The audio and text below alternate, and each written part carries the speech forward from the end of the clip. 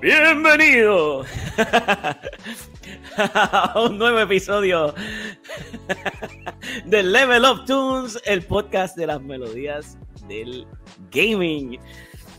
Y si estamos así de tenebrosos es porque hoy es viernes 13.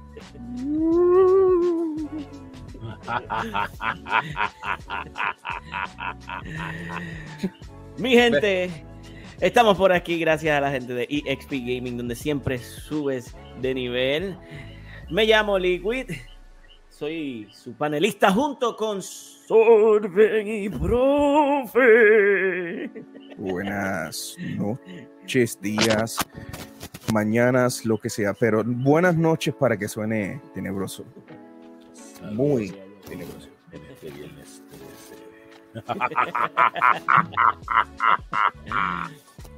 Nos tocó la dicha de tener un podcast para el viernes 13 y no podíamos dejar pasar esta oportunidad para traer lo que, como pueden eh, ¿verdad? ver, eh, temas de miedo o temas de horror o temas de lo que, ¿verdad? Nosotros consideramos que fueron algún tema tenebroso en algunos de nuestros momentos eh, de nuestras vidas. Eh, aquí yo tengo unos títulos, que, unos temas que yo escogí, que es el primer tema que vamos a escuchar ya mismito. Un tema que yo lo escuché cuando yo creo que yo tenía como nueve o diez años. Y, y, esta, y, y me tengo shame de decir de que este fue mi primer Castlevania. Lamentablemente. Bueno, pues desde ahí solo te pudiste mejorar. Which is no. sí, porque empezaste con el que, empezaste con ese está fuerte, lo sabes. Ah, no, eh, yo no sabía lo que era Castlevania y este recuerdo que me lo regalan de, de, de cumpleaños o no sé qué fue y yo lo pongo y vamos, vamos, vamos a empezar, vamos a empezar rapidito, vamos, vamos con esto. Vamos con esto para que, para que escuchen. Esto fue lo primero que yo escuché cuando puse Castlevania 64. Así que vamos, vamos a escuchar.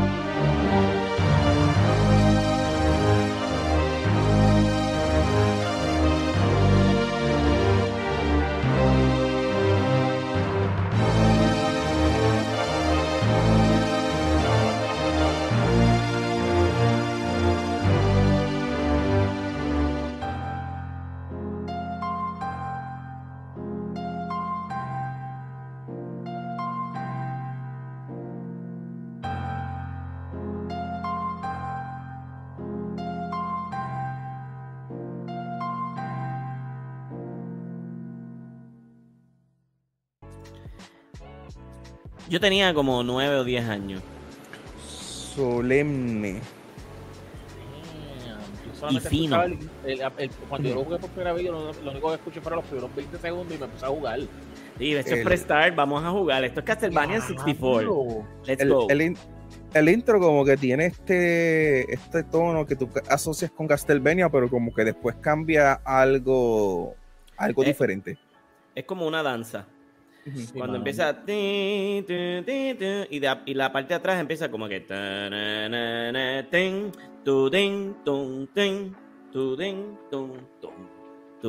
y el violín pues encima, obviamente, tocando. Es como una danza.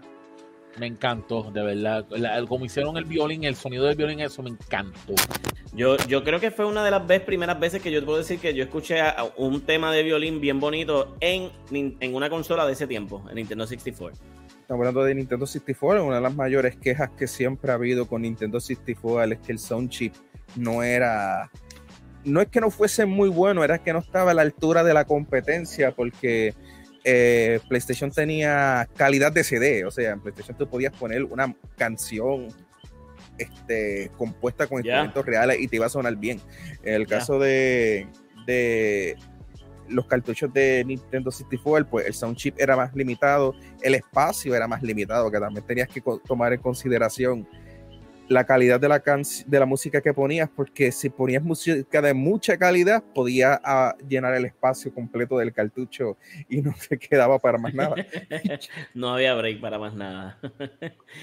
Mano, eh, eh, yo, como les estaba diciendo, ese fue, ese fue uno de los primeros títulos que yo escuché de, de Castlevania. Lamentablemente, esa fue mi primera experiencia con Castlevania.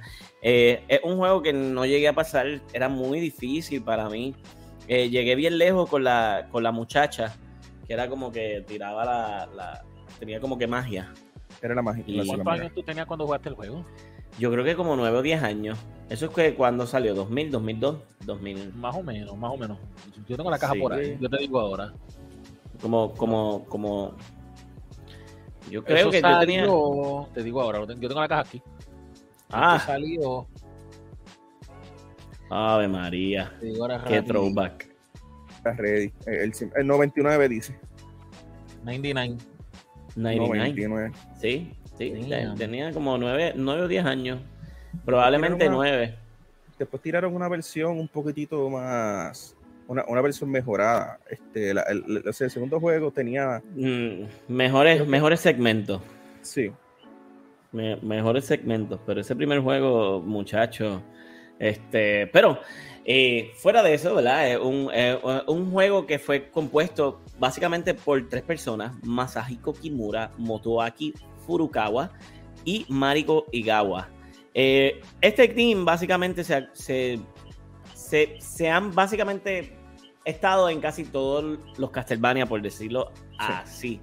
Eh, y la verdad el caso es que yo, siendo ¿verdad? productor de, de este juego, o sea, yo cogería obviamente gente que yo sé que, que saben bregar con, este juego, eh, que ya han estado en, este juego anteriormente. Eh, pero sí, Castlevania 64, ese intro, en una escala del 1 al 10, ¿ustedes la encontraron tenebroso o más fascinante?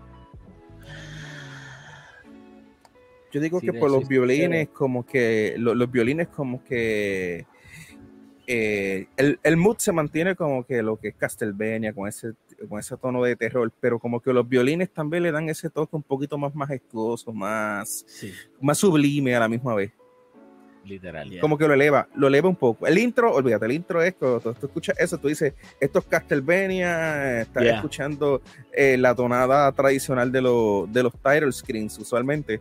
Pero cuando cambia, pero cuando hace esa transición a los violines, como que se va suavizando un poquitito la cosa. Ya. No sé si es como que el juego está como que invitándote para, es como es que yo sigo pensando que es como es una danza un, baile esa canción en un cierto punto y es como que el juego me está invitando a, a bailar con él a bailar con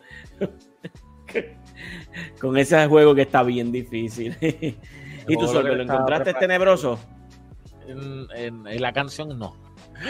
El principio sí. Exacto. Es que eh, llegamos al punto cuando empecé a escuchar el violín. Eso fue music. Eso sí fue un buen music for my ears. I was like hypnotized with the violin. Me encanta. todo Primero que nada, lo que es violín y piano es mi instrumento favorito en cualquier videojuego. Empezando por ahí.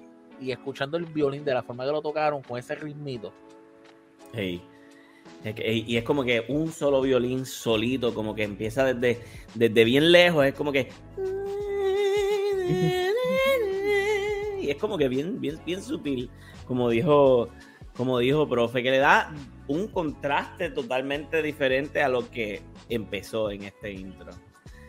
Eh, pero Castlevania, Castlevania yo, yo, yo siempre he dicho que Castlevania tiene momentos tenebrosos en su música, pero realmente no es tan tenebrosa. Mucha de su música este, es más como que bien movida. Eh, vamos a entrar a Symphony of the Night, que tiene eh, Clock Tower, que es una canción buenísima, entre otras en parte lo hacen también porque como el, uno de los principales este, puntos de los Castlevania es la movilidad del personaje.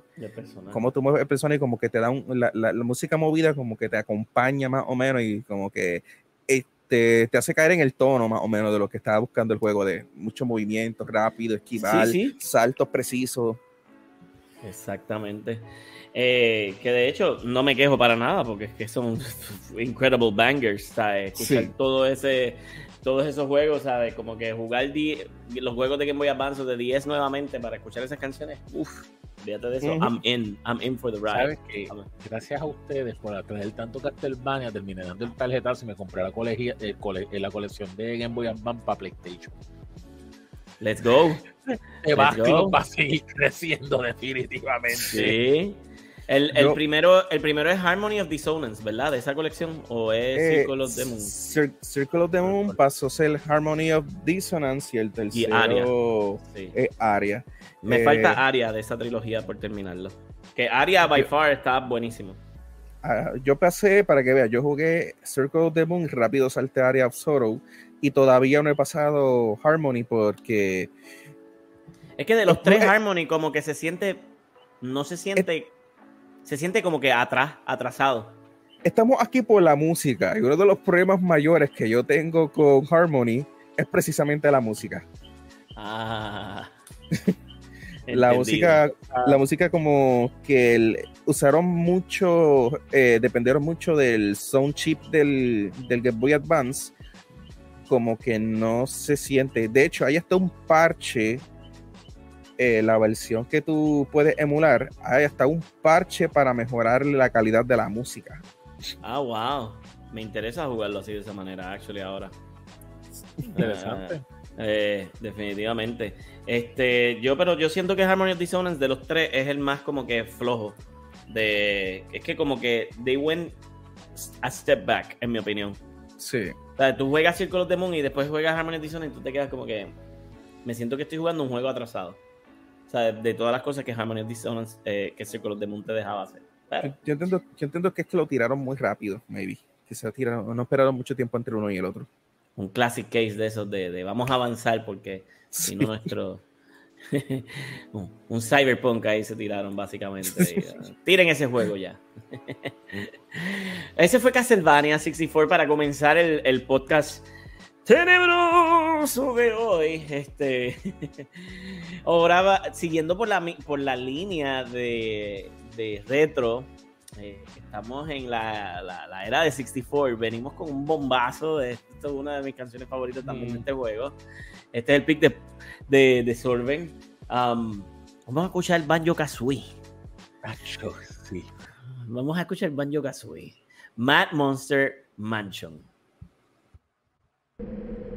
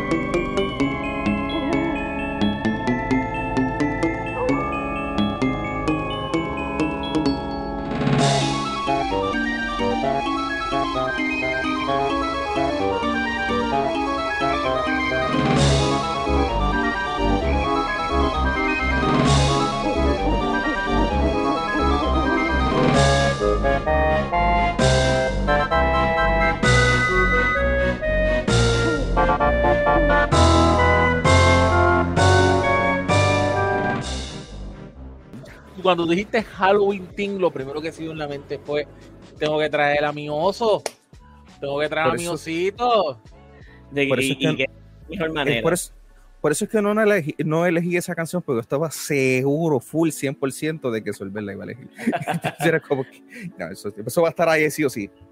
Caramba, lo solo pido de tirar de SBF, imagínate si no lo iba a traer acá. Pero Espera que ustedes, ustedes se van a sorprender con este compositor. Yo creo que es la primera vez que mencionamos su nombre aquí. Se llama Grant Kirkhope. Él es, un compositor de Escocia. Yo lo había traído anteriormente, creo, para uno de Donkey Kong 64. Pues exactamente, porque él, él, fue, él fue compositor de muchos juegos de Rare, Donkey Kong Land 2, Killer Instinct, Golden Eye, Blast Corp, Donkey Kong 64, Banjo Tooie, Perfect Dark, Star Fox, Viva Piñara, sorprendentemente Candace of Hyrule, mm. World of Warcraft, Amalur y Mario Rabbids, el, DLC de Donkey Kong y Sparks of Hope. Ah, estuvo, estuvo para el nuevo, para el Spark of Hope. Estuvo para el nuevo. De hecho, en el, en el de nuevo hecho, estuvo con Yoko, estuvo, con Yoko. De, de hecho, él hizo el remix del Peach Castle Team este, un rearrangement para, para este Mario Rabbits. O sea que tú vas a escuchar la canción de Princess Peach Castle en el estilo de Grant Kirkhope, que es como que inconfundible. a, mí me encanta el estilo de él. Bueno, loco, él, hizo, él, también fue, él también fue un guest composer en Yooka-Laylee, el que es el escritor sucesor de Banjo Kazooie. De Banjo Kazooie. Una de las cosas que eh, me gusta mucho de, de las composiciones de él es, que él, él, implementa este, sonidos naturales como aves, este, animales. Eso es algo que se ve aquí, los, los lobos. Sí, los lobos. Eh, Funky Forest, por ejemplo, de Donkey Kong 64, él tiene los como que pajaritos al final, eh, pajaritos al principio, el chip de los pajaritos. Y la versión de la noche es este con, con como que con cuervos sonando.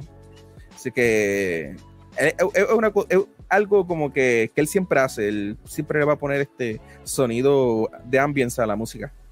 Este, este, este tema en específico es uno que no paraba de dar sorpresa.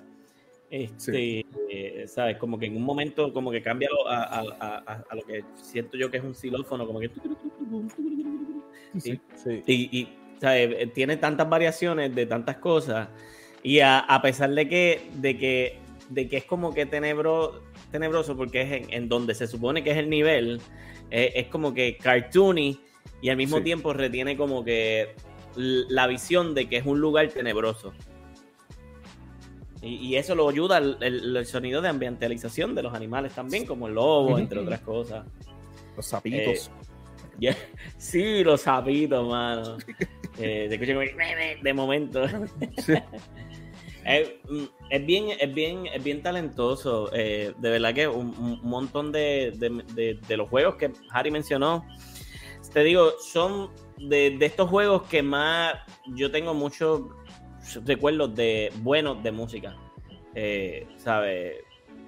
Eh, él estuvo en GoldenEye, si no me equivoco, también, Grant Kirkhope. Sí, estuvo en GoldenEye. O sea, él, era como que el, el, el, el composer de Rare por decirlo así. también, que, Black Corps. Junto con David Wise, se puede decir que eran los dos principales de, de Real. ¿Qué, qué, qué grupito ese, mano, Rare, de verdad, este, en, el sentido de que dio tanto, tantos palos en un momento dado. Y ahora es como que pues están con Sea of Thieves, pero como que tú no, no, no sigues viendo más, más cosas. Eh, tienen, tienen, ellos como que tenían un juego anunciado hace un tiempo atrás, hasta se olvidó el nombre de cuándo fue que lo anunciaron y hace tiempo que no dicen nada, De, de, los planes que tienen. Es como que son, son tremendo equipos, o sea, estamos hablando de tremendo staff. Yup. I mean, it was, de, verdad, fue, es una de estas compañías que, que, significó mucho para mí creciendo. Y en, cuanto a música, siempre, siempre, siempre como que la pegaban con todo Perfect Dark. Ese soundtrack de Perfect Dark, mano. Eh, ahora me pongo a pensar en Perfect Dark y yo estoy, ¿por qué no cogí una canción de Perfect Dark para este, para este este podcast, pero ya tendremos otra oportunidad para escuchar más de, eso. si ah, ponemos el link. Como tres canciones más mientras estábamos hablando de Banjo Kazooie y Diablo. Sí, sí, sí. Si ponemos al Nintendo 64 como, como en perspectiva, podemos decir que Rare era, fue, fue prácticamente la compañía que, que le dio el salve a Nintendo 64 en ese, en, ese tiempo, porque era Bankers. Eh, eh, hasta juegos que hicieron como que de, de, un momento para otro, por ejemplo, Diddy con Racing, que era prácticamente un juego que, que tenían que tenían aguantado, ahora algo así que estaba prácticamente cancelado, le dijeron, Banjo Kazooie no va a salir para Navidad, hagan algo antes de que termine Navidad, boom, tiraron Diddy con Racing y es un juegazo. Sí, mano, eh, unbelievable. Y, y, mucho antes de, tirar este Donkey Kong, ¿verdad? Eh, eh, Diddy Kong vino, o no, Diddy Kong Racing vino antes. Diddy Kong Racing vino antes de vino antes de, de, Donkey Kong 64 de Donkey Kong y vino vino antes de Banjo Kazooie la razón por la que ellos lo tiraron eh, aceleraron el lanzamiento del juego ellos como que retomaron ese proyecto y lo terminaron rápido porque el proyecto grande que ellos tenían era Banjo Kazooie y no iba a salir para Navidad. Entonces ellos decidieron terminar ese juego bastante rápido, tirarlo y lo usaron para presentar a Banjo y a Conker. Conker. Conker, eso es otro, otro personaje también que, lo han tenido escondido, guardado, no sé. No lo presentaron de la manera más accurate posible, pero pues lo no, definitivamente. Eh, de, esa, de, de, esos momentos de 64, ¿verdad? Eh, siempre, siempre tengo muchos tesoros de, en, cuanto a música.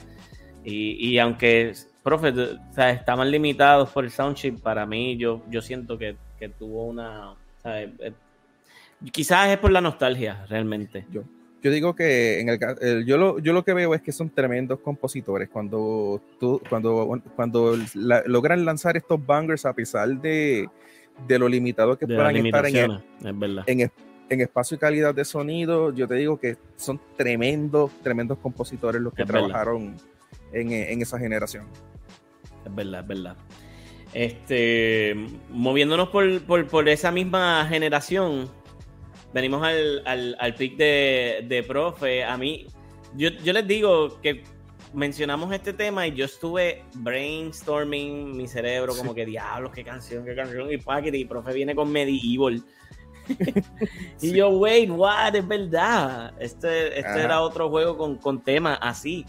O sea, que otro juego tenía temas así como que medio, medio de PS2, Máximo, ¿te acuerdas de ese juego?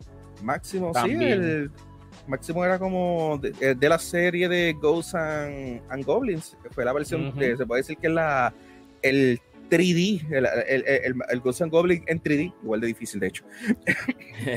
sí, máximo, máximo, máximo, estaba, estaba difícil ese primer jueguito. Pero vamos a escuchar la canción de Medieval, The Ant Caves.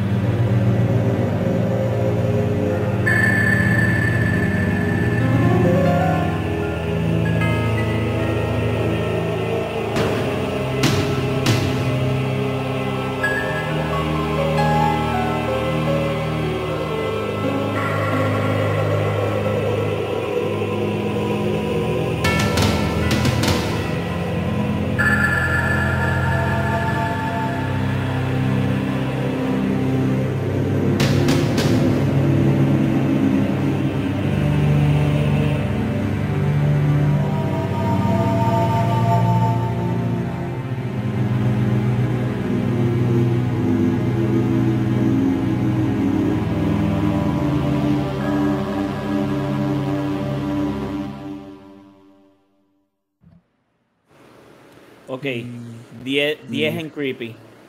Y eso daba. Eso sí tiene lo que es Halloween Drives, de verdad. ¡Wow! ¡Qué sendo creepy! Sí, y este.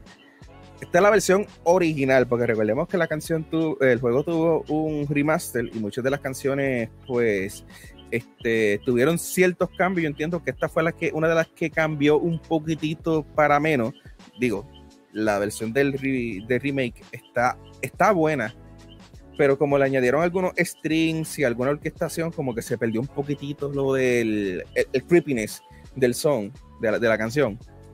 Y, y, en realidad este juego tiene mucha variedad de sonido como tal, pero eh, aquí es donde yo digo que llega a ese punto donde dice, vamos a hacer intencionalmente creepy, vamos a hacer este full este que la gente se le olvide que estás usando a a, a, a, ¿Cómo que se llama? Sir, Sir, Sir, Sir, Ave María, Sir something. Sir ah. William, William, no, no, ¿cómo que se llama? Sir William Lanza. Yo sé que el apellido es Frotesc.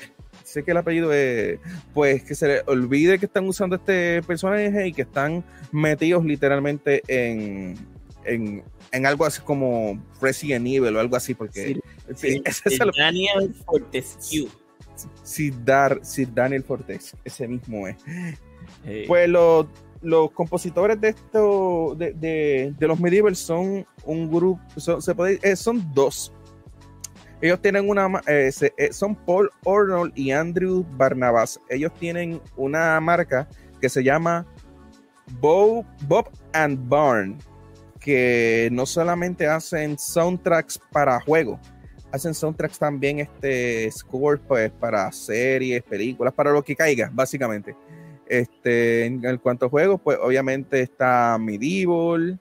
Ok. Este. Eh, hicieron uno incluso uno para Animal Course Miami, My Brother is a Dog, Film Music Entertainment, este Medieval 2, hicieron el del remake también de Medieval también. Sí, entiendo que, han estado en la, en, en la familia de Medieval, por decirlo así.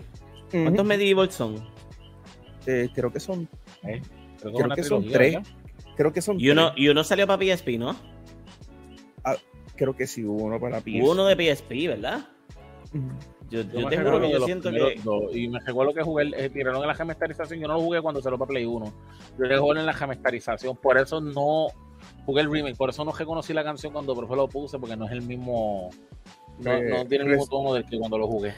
Pero esto es un brave, esto es un, un, gran ejemplo de que esta música también usa mucho ambientalización. Sí. Para, para, para, para traer esa tenebrosidad en específico. Para un juego que es también casi como que medio cartoon y también, actually. Muchas de las canciones, de hecho, tienen un tono un poquitito más parecido a lo que es Banjo Kazooie, como que más upbeat, más. Pero en esta en particular, es que la, que la mayoría, es que estamos hablando que es la mayoría del juego que trata temas literalmente como que de la muerte. Estamos hablando de que tu personaje es un esqueleto, he's dead. Este, pues, eh, eh, pues, dos medieval, si acaso. dos medieval y Resurrection. Y el, de, Resurrection es de PSP. El de PSP. Pues son tres, serían tres. Eh, y pues, este, como que ahí, en, este punto como tal, es que haces como que ese cambio, que tú lo escuchas y, te queda. Este, yo no lo llegué a jugar full en su momento, cuando salió, yo jugué el remake, pero estaba buscando la canción porque la recordaba del, del remake, pero la que me salió fue la de PlayStation 1, y pero esta es hasta más creepy que la otra. La otra por, por los strings que le añadieron, como que da un cambio de tono en ciertos momentos. Yo. Ajá, perdón, perdóname. Aquí, es aquí, aquí se mantiene el tono de, de, oscuridad, de, de oscuridad. miedo. Sí. Tenebroso completamente. Yo este eh, iba a comentar eh, que yo había, eh, recuerdo que había leído, si no me equivoco, que cuando Sony se acercó a ese corillo de gente, le, les pidieron que hicieran el soundtrack a como que trataran de hacer el soundtrack con influencia de Danny Elfman. eh, como Beetlejuice, que, que, que, o sea, películas de Danny Elfman así tenebrosas, The Nightmare Before Christmas. Eh, eh, no sé qué otra película tenebrosa tiene Danny Elfman.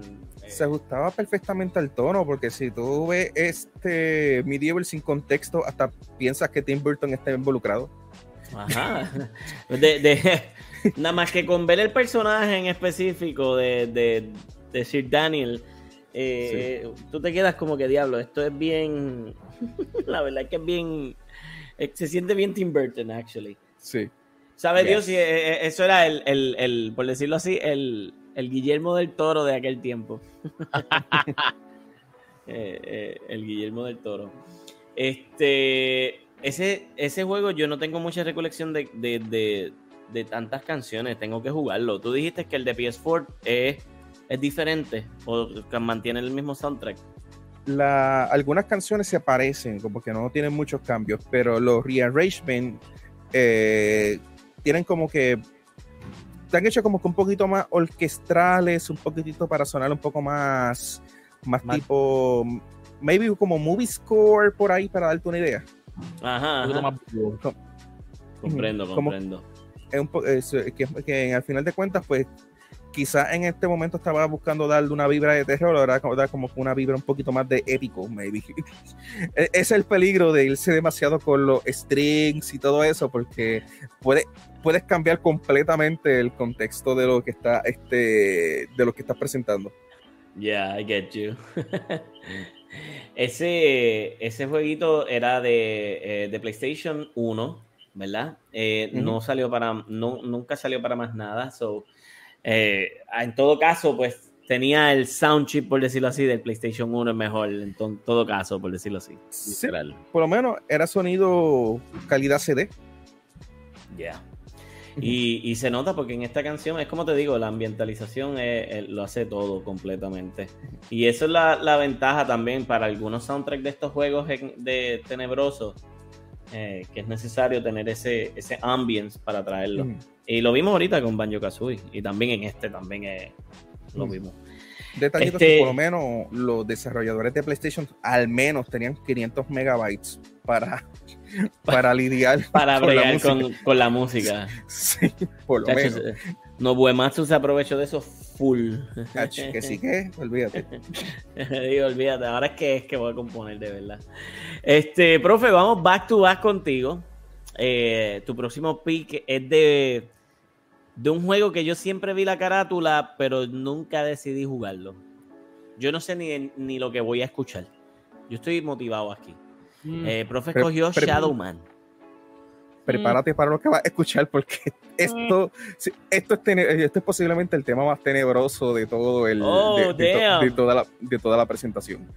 tenebroso y disturbing. Esto es perturbador. O sea, podemos, podemos hasta hacer un disclaimer aquí de que ¡Eh, de, de que es bastante perturbador lo que van a escuchar. Ok, ok. Bueno, esto es Shadowman's Playrooms.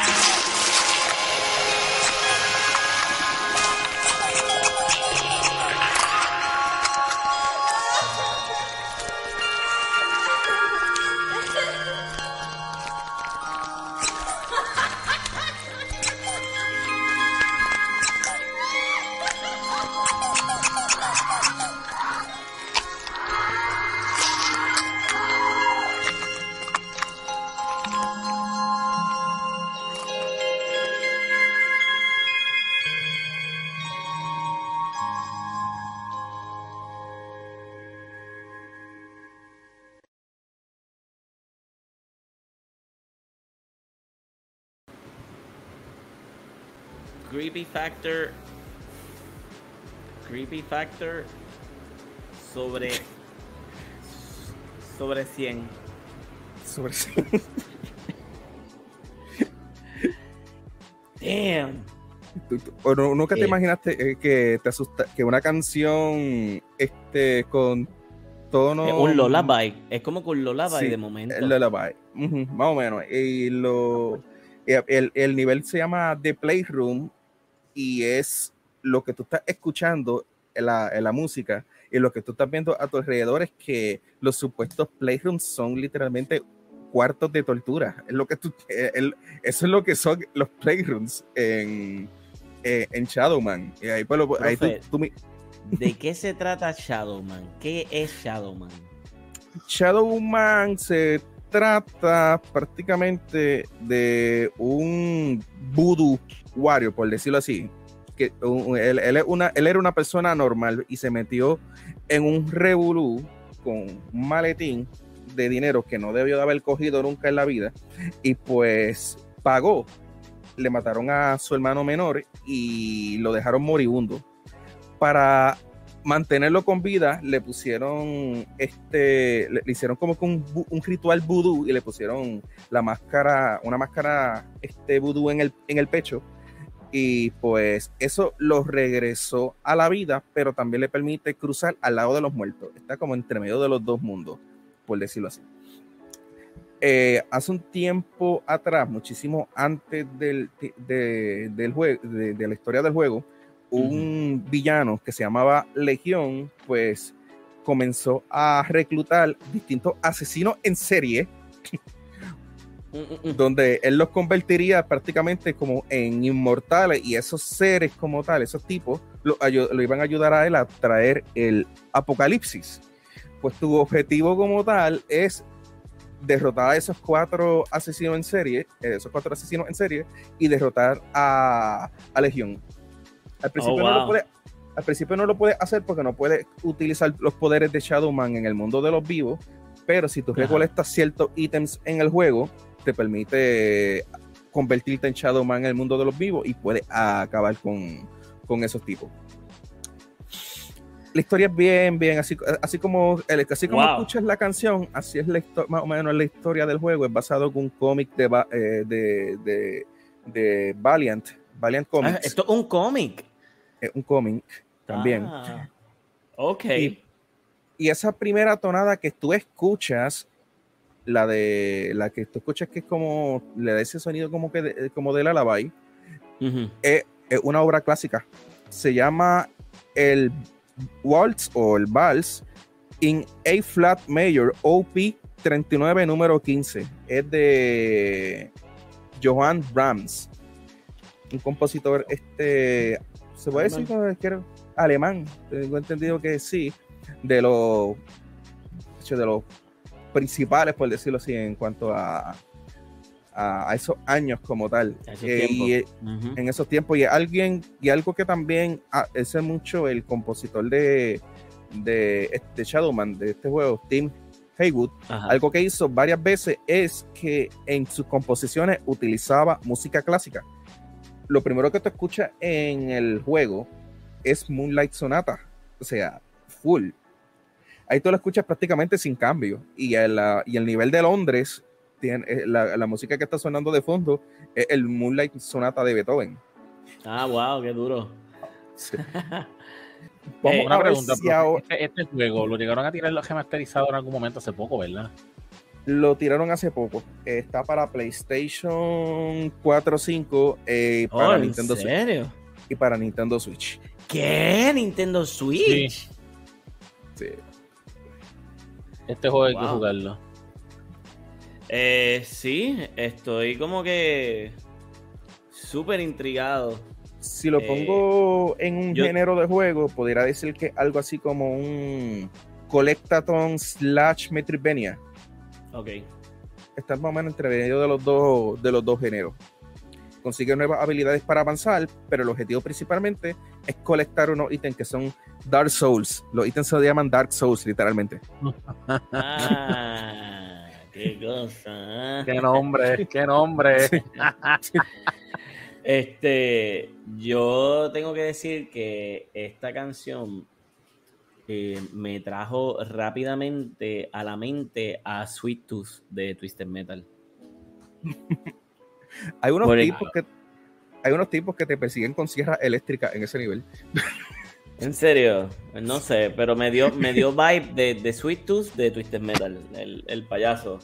Este, ah. me, dio ultra vibes a eso. Yo creo que es más por, la parte que es como que, pues, es como que si estuviese cogiendo un lullaby a la parte de atrás, mientras está, eh, again, si es algo importante que hemos escuchado hoy en los juegos de horror de, estos tiempos, es la ambientalización. Eh, la, gente gritando, el sonido este de la cieja, este... el patito de hule. Sí, el patito de hule, sí. Es como que, wow, eh, eh, tú sabes, se nota... Damn, yo, yo me, quedo, a veces me, me, da un poquito shock ¿Qué tan profundo y tan oscuro tiene que ir un compositor dentro de su, dentro de su mente, su corazón, para componer música de esta manera? Es verdad que tú tienes ya la visión, porque a ti, a ti el director viene y te dice, yo quiero hacer este juego con esta cosa, esta cosa, esta cosa. Yo empiezo a empaparme como compositor de, de, esto, pero o sea, yo tengo que meterme tan profundo dentro de, este tipo de, de pensamiento como que para traer ese tipo de, cosas, tú sabes. Eh. Quizá, él tuvo referencia de Valiant Comics, este, del que, como, que sería como tal el tema o la ambientación de la obra como tal. Y quizás le dijeron, compón una, con una canción para un nivel que se llama Playrooms, pero que escondido es un cuarto de tortura. Básicamente. y, hace sentido con todo lo que estás escuchando, porque pues tú escuchas diferentes sonidos de, ciertas cosas que están pasando, y pues yo pude envisionarme que definitivamente yo estaba en un lugar en donde estaba viendo un montón de atrocidades aterradoras de, de horror. Tengo que admitir que el patito de Google es lo más creepy que yo puedo escuchar ahí. Ese... Sí. Eso es cierto, es verdad. Yo, eh, eh, yo creo que es uno de los, de los más creeping factors de, de esa composición. wow. Definitivamente yo creo que es el top creepy song de, de, de hoy. No hemos terminado. Pero definitivamente estuvo, estuvo there. Este juego era de PSU, ¿verdad? Estuvo Nintendo 64, PlayStation 1, Dreamcast y PC. Ah. Ok, y pues ahora me imagino que pues PS4 y, Nintendo Switch. Lo voy a lo voy a tener en el wishlist. Otro backlog. No, no, te voy, no, no, te voy a decir que lo voy a añadir al backlog, pero en el watchlist. Eso, eso es nuevo. El watch es el backlog del backlog. Backlog del backlog.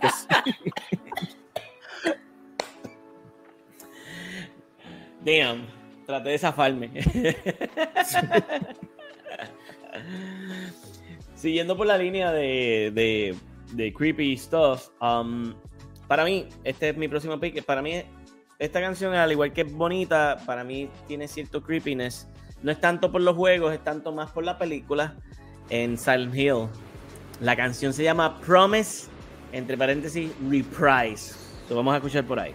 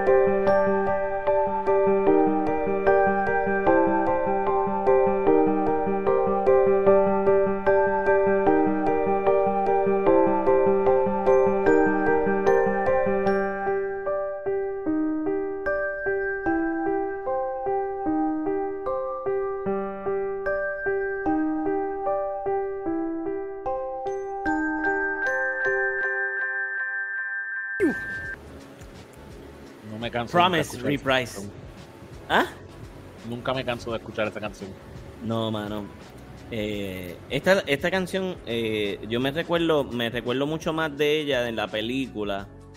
Eh, y, de hecho fue porque la vi hace poco otra vez. yo pienso que la película de Silent Hill es una de las pocas películas que más se acerca al source material de lo que es el, juego. siento que, que, muy buena, la primera, más nada. Es como que de esas películas que, ¿verdad? Fueron muy, muy, muy buenas. Y siempre aparecía esta canción cuando aparecía a, Lisa Gillespie o cuando se estaba explicando algo sobre el town de Silent Hill o, algo estaba pasando. Pero es, de estos temas que son como que se sienten tenebrosos, pero al mismo tiempo como que, no sé, como que hay una historia atrás de, lo que se está contando, de lo que está pasando.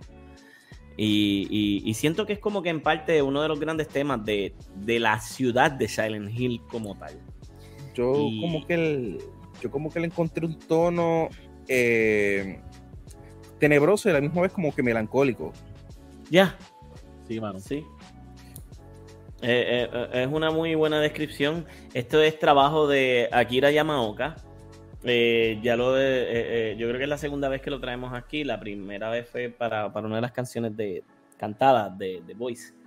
este, Akira Yamaoka tiene un repertorio de, muchos juegos que, tienen soundtracks bien, bien únicos. Eh, él es bien aclamado y, pues, ha estado en todos los Silent Hill, va a estar en el nuevo también, en el, en oh. Silent Hill 2 que, bien. Estamos esperando la fecha, a ver qué Konami va a hacer ahí con eso, pero también ha, pues, estado en Lollipop Chainsaw, eh, eso es una loquera de juego. Killer is Dead también es otra loquera de juego. Y Shadows of the Dam también es otra loquera de juego también.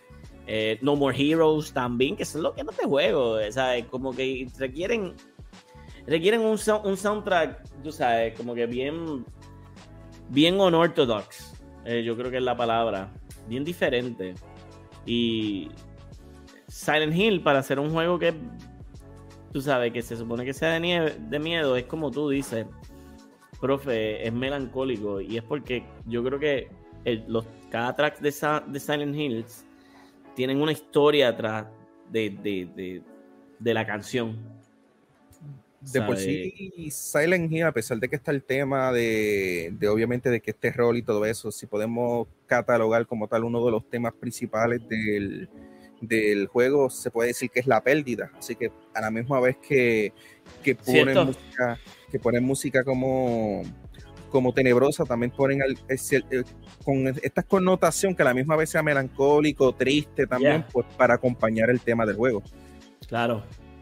Eh, diste en el punto, mano. Eso es cierto. Este eh, no, no lo había pensado hasta que lo mencionaste ahora. Esa cohesión de la melancolía junto con las la pérdidas, que tanta pérdida hay en esos juegos de Silent Hill, mano. Siempre. Siempre son eh, así, siempre son tristones. Sí, pero vale la pena jugarlo, mano. Eh, vale la pena jugarlo. Todos, todos, todo. Y, y, como dije, la película, la, primera película, si no la han visto, yo, yo digo que es una de esas mejores adaptaciones de, del mundo del, del gaming ante una película, porque usaron el soundtrack casi completo de tanto del 2 y del 3 para hacer la película como tal. O sea, que usaron el mismo compositor de... y, fue la mejor idea realmente, ¿sabes? Y, para este nuevo también que van a traer, pues también es otra adición de que van a traerlo a él. So, Akira Yamaoka es importante por lo menos para, para ellos. ¿Sabes que también tuvo... Eh, alguna participación en Cyberpunk Edge Runners, el anime. verdad? Nice. tuvo, participación. Honestamente no sé, no, no, eh, no dice, simplemente eh, tuvo participación en el... En... ¿Tú imaginas que, tú que sea de la última de esas que te, por la que te saca la lágrima? Me gustaría, me gustaría saber realmente. Y Diantre, si es él, él también participó en Ninjala. Ninjala. Ninjala. Ninjala. Wow. Eh, podemos hablar del range que tiene en cuanto a, distintos tipos de género y formas de composición, porque este, de, Silent Hill, de, este, de Medium, que más o menos comparten el mismo tema, a No More Heroes, Ninjala, Lollipop Chainsaw, cosas que son como que tú escuchas y te dices el soundtrack de este juego va a ser bien loco. by the way, eh, perdóname, leí, es el compositor oficial del show. Oh, wow. Oh, yeah. Ok, that's good, that's good. no, no sabía. Y tiene buena música. Sí, sí, buenísima. Wow, no, no, no sabía que era completo. Este, profe, te, interrumpí.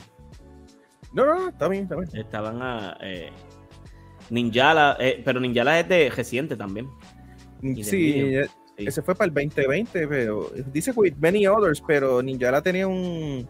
Trataba como de coger este tipo de, de flow Splatoon, por decirlo así, que la música era más o menos, ah. iba más o menos por esa misma línea. Ya recuerdo, ya recuerdo cuál era ese juego. Pues, él, se fue variado, definitivamente. Sí, sí, así, se puede decir que hace de todo ese compositor. Sí, eh, eh, es un loquito, un loquito, pero hace buena música. Siguiendo por los temas eh, tenebrosos, vamos con un, un juego bastante contemporáneo de ahora, de hoy en día. Este va a ser básicamente nuestro último pick en el, en el en el podcast de hoy eh, tenemos el bono, como siempre. Pero este juego es el pick de, de Solven y este es más de ahora.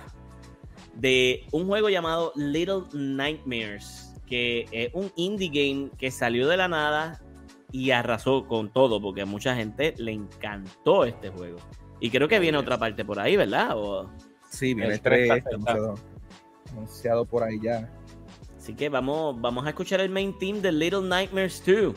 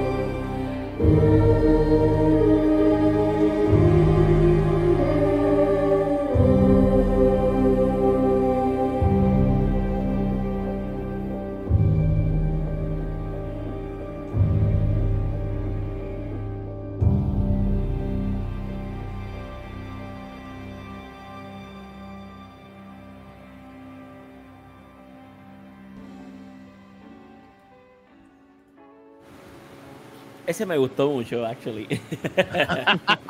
es contagioso. es bien contagioso esa canción, bien compuesto de parte literalmente, y es un compositor que apenas está comenzando. Se conoce literalmente solamente por los juegos de Little Nightmares y The Division. Se llama ah, Christian wow. Es lo único que ha compuesto está literalmente empezando, pero Division, Division se puede decir que también es bastante. Bueno, Division ya lleva un poquito, pero Little Nightmares son, son de ahora. Es, Division es 2016, Little Nightmares fue el 2017. Él, tiró él, fue compositor de uno, pero ya aquí estaba hablando que es más un, un álbum que se llama A Grave for Jimmy. Sí, como que es un trabajo aparte de él, probablemente. Yes, pero él se enfatiza en, ese tipo de cancioncitos como de horror y ya tuviste el toquecito que le dio Lil un, un juguito de horror, pero cuando le metes el corito, el humming, le da más vida todavía. Tú ves como va poco a poco intensificando más y más y más hasta que llegas al high pitch. Déjame, déjame decir desde ahora que lo voy a poner en el watch list. en el backlog del backlog. Pero te puedo decir que si tuviste Play Plus y lo dejaste en tu, en tu, en tu download, lo tengo, lo tengo. Lo, debes tener creo que el 1 y el 2, si no me equivoco, los dos lo llegaron a tirar para PlayStation. Yo, yo, yo jugué bastante del 1, del 1. Y me sorprende eh, que lo creepy que son estos juegos, mano. Sí. Y son indie games. Eso, eh, eso, esos gigantes esos gigantes en realidad son de tamaño, se supone que son de tamaño normal, pero ellos son los chiquititos, pero esas criaturas que te presentan este, los que te están cazando para matarte, los grandotes. Los grandotes, sí, eso. Son, son cada, cada uno que llega es peor que el anterior en cuanto a, apariencia. Y el lore, el lore que tiene estos juegos es algo serio cuando digo que algo serio, algo serio, tiene que estar pendiente a cada detalle para ser un juego que no tiene narrativa, que tú simplemente te estás como que escapando. ellos te están explicando la historia, ellos te están explicando la historia simplemente con la ambientalización de lo que tú estás viendo. Pero hay, una escena, para que tengas una idea, en el, especialmente en el 2, que eh, si no me equivoco es el del cocinero, si no me equivoco, era un, o era una persona que operaba, no me recuerdo bien ahora mismo, porque hace tiempo con el juego. Tiene el nene de él en una camilla. Y él está haciendo lo posible porque le quiere salvar la vida. Esa cosita chiquita, post plug. Ese plug, cuando él lo jala, tienes que estar bien pendiente a los detalles. Porque para que tenga una idea, hay un lore bien deep después que tú desconectaste ese plug. Tengo que ver los videos de lore ahora. Tienen que jugar ese juego tiene un lore ridículo. Para que tengan una idea de que cuando yo jugué el 2, yo lo jugué, lo jugué dos veces, porque son dos finales diferentes. Yo estuve todas las mañanas por un mes con mi nena, llevándola para la escuela, hablando del lore de este juego, dando teoría, porque es que el juego tiene mucho. Para ser un juego corto, tiene mucho, mucho contenido, mucho lore, estilo Five Nights of Freddy. eso mismo iba a decir, que siento que estos juegos son parte de como que de esa familia de, de juegos, eh, se le llama creepypasta. Eh, si no me equivoco. Sí. Este, como esa línea de, Five Nights at Freddy's. Eh, se siente que es de, como que ese corillo de conjunto de juegos que, están así. Eh, Slenderman, este. No sé qué más otros juegos que de momento han salido en el internet últimamente que, son así. Este, y te pregunto, eh, al igual que la canción, ¿el, juego sigue siendo igual de tenebroso? ¿O sí? Full. ¿Tú consideras, ¿Tú consideras que esto es un horror puzzle game? Es un horror puzzle game, no lo voy a negar. Porque Platformer también. por eso hay, hay partes que tú tienes que como que, cómo saber cómo pasar por un sitio. Y especialmente en el 2, llegando cerca del final, hay unos monitores que tú tienes que apagar para que tú puedas, para que no te vean, para que tú puedas pasar y cómo escaparte a ese extremo. Hay una parte bien tenebrosa que se ve bien estilo Silent Hill, que son unos puppets, que si tú no los alumbras con la luz, no cogen, ahí como que se paralizan, pero mientras no hay luz, tú esto es así, así bien feo, atacando y, de repente viene un montón que tú dices, ¿qué rayos es aquí? O el juego tiene, tiene sus escenas, tiene sus escenas.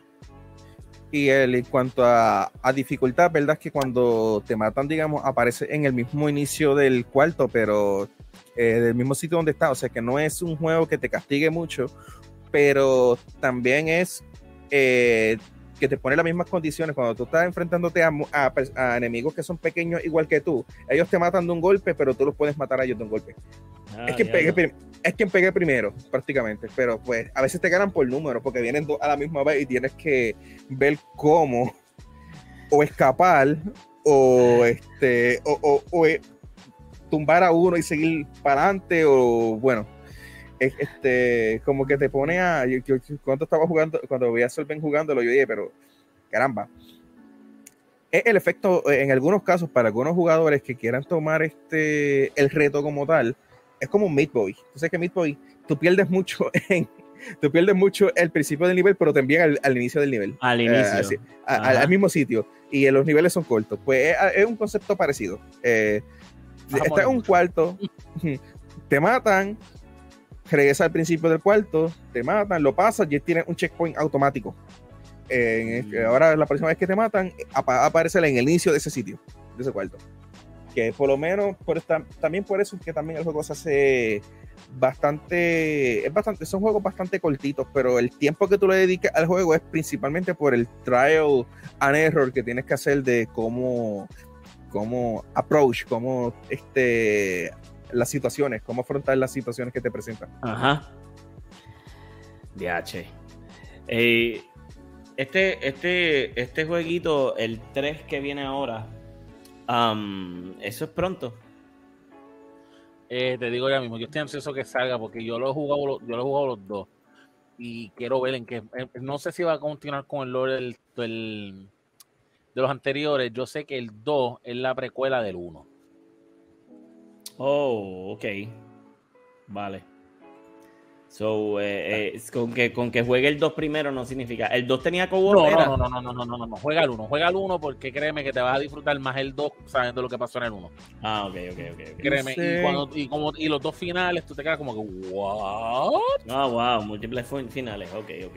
En la página oficial del publisher Bandai Namco eh, dice 2024. Eh, todavía no tiene mes. Está...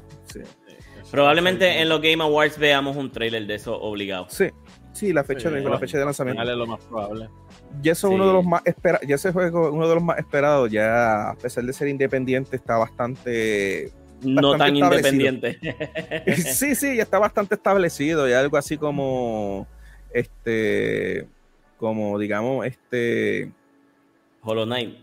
Hollow Knight o algo así que ya. Ya, ya. Bueno, esas son básicamente todas nuestras canciones de horror. Eh, sin embargo, eh, vamos con la canción más tenebrosa. Oh, yes. Y yo entiendo este que es más por la historia que hay detrás de eso. la historia que hay detrás de eso. Así que vamos.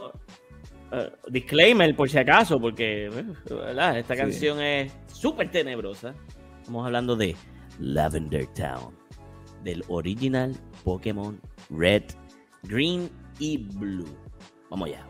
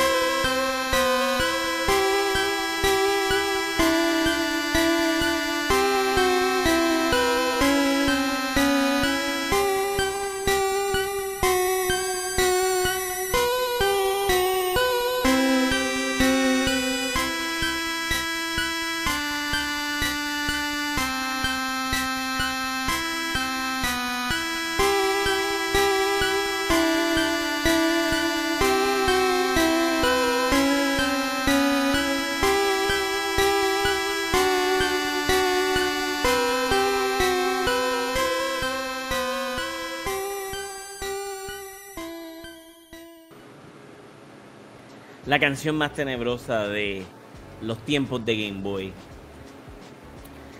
Scary.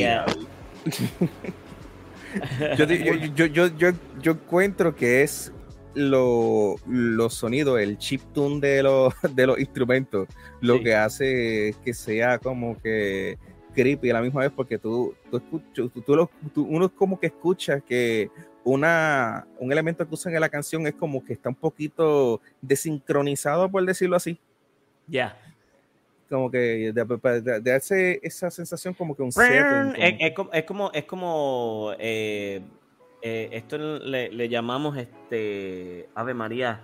Se me olvidó. Eh, cuando no estás parejo y suena como que disonante, estás como que descuadrado algo, como que cruzado, es como que desafinado en la palabra. Como que diferentes tonalidades en ciertos momentos. Y eso es lo que crea la magia de el famoso Junichi Masuda eh, compositor de casi todos los juegos de Pokémon y también director de casi todos los juegos de Pokémon que cogió las riendas desde Gold y Silver en adelante. Literal. Este, pero esta canción, este tema, ¿verdad? Eh, tiene. Y aquí es donde tenemos un poquito de disclaimer, ¿verdad? De, lo, de lo que vamos a hablar. Este. Tiene unas acusaciones serias. Que es que cuando Pokémon sale Pokémon sale varios días después del juego. Niños, estamos hablando de alrededor de 100 o más niños japoneses de 10 a 15 años cometieron, se quitaron la vida.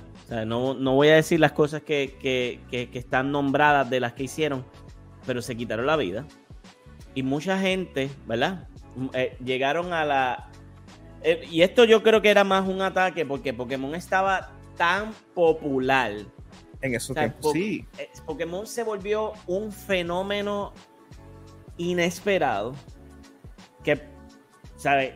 Pasando este fenómeno de que estos niños se están privando la vida, ¿verdad? Eh, llega la acusación de que esta canción causa, era lo que estaba causando este, este revolú náusea, dolores de cabeza se reportaron en, niños. Eh, ¿Sabe? Había niños que solamente escuchaban la, canción porque supuestamente que era por el, high pitch que tiene la canción. La realidad del caso es que todo esto fue pura, pura, la gente hablando, tú sabes, buscando la excusa de qué es lo que estaba pasando digo que posiblemente fue más como que quizás asociaron, este, asociaron maybe con el juego que estaba, que estaban jugando en ese momento.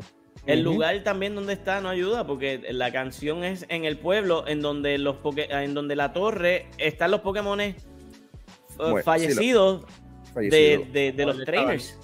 Sí. Mano, eso era conocido de Lavender Town Syndrome, si no me equivoco. Ya. Así que lo llegaron a llamarlo. A ese, a ese extremo llegaron.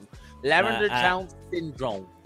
A, ese nivel como tal. Eh, claro está, eh, en el mapa del lugar, eh, pues tú sabes, es un, un check to reality para mí el hecho de que los Pokémon fallecen. Sí. ¿Sabes? y aquí es donde introducen Ghost Type Pokémon también. Y hay una historia completa en el pueblito detrás de, la, de, los Pokémon muertos este, y todo eso. Aparentemente hay una historia donde eh, este, el Dr. Fuji está cuidando un Cubone que, quedó ah, que quedó huérfano y pues en la torre tú te encuentras con un Ghost y cuando tú descubres quién es el Ghost es un Marowak. O sea que tú llegas, tú sabes que ese Marowak es la madre de Cubone. O sea, este. Y, y ahí donde te dicen también que Team Rocket mata a Pokémon, porque fue supuestamente Team Rocket quien mató ese Marowak. Quien mató ese Marowak, literal. Para coger eh, el, el, caparazón. El, resto de la cabeza. Sí. De hermano, eh, oh, muchas cosas, mano. De verdad, eh, eso es para que vean, ¿sabes? Muy, algo se trepa y como que la gente rápido busca, vamos a buscarle falla. Y, Pokémon se estaba convirtiendo en algo. Hoy en día Pokémon es, buenísimo. Pokémon, tú sabes, Pokémon tuve los episodios de anime y tienen tantas enseñanzas. Sí. Eh, pero, ¿sabes? Un episodio literalmente está lleno de súper enseñanza, eh, de, tantas cosas, de la vida, eh, tanto de estar como con tu compañero Pokémon como estar con tus compañeros de, amistades. ¿Verdad? La amistad, la amistad es uno de los temas principales también, a pesar de que ellos están enviando sus Pokémon a pelear, también Uno, de los, uno de los core values que te enseña, quitando obviamente lo de la pelea, es que este, tus mascotas son, son tus amigos, básicamente. Y, y, tienes que cuidarlos bien. Ellos pelean pues la serie porque pues es basada con videojuegos y la mecánica principal del videojuego es que pelean. pelean. pelean, sí. Pero se ven brutales las peleas y tú sabes, y todos ellos están vivos y todos ellos después se saludan con el sportsmanship que, ellos mismos crean entre ellos unos a los otros. Este, pero al final, ¿verdad? El, este so-called Lavender Syndrome eh, terminó siendo una falla, o sea, eh, eh, se hicieron, creo que hicieron estudios sobre esto, tú no te vas a volver loco. Por bueno, yo, lo, yo escuché ahora, yo me siento bien, yo no sé. Yo me siento bien. Yo me siento bien. Yo me siento bien. Pero el, el, el, de Town Senior fue un caso muy serio, incluso que cuando tiraron Gold y Silver tuvieron que hacer un cambio en la música también, un poquito más cheery y todo, para eso mismo, para evitar. Sí, de hecho, ellos eliminaron la torre como. Ellos eliminaron la torre como, como cementerio, la convirtieron en una, una torre de, de, radio para, sí, es verdad. para Gory Silver. Es verdad, eso es cierto. Eh, de ahí en adelante no hemos visto más nada, Pokémon es muerto. Fue muy controversial, de verdad. Fue demasiado. Sí, más adicional a eso, que a Pokémon no es, como mencioné, lo han atacado tanto que creo que esto hubo un episodio de, de, que causó seizures. Eh, por lo menos ese episodio, el de Porygon, pero por lo menos ese episodio sé que lo eliminaron en todas partes.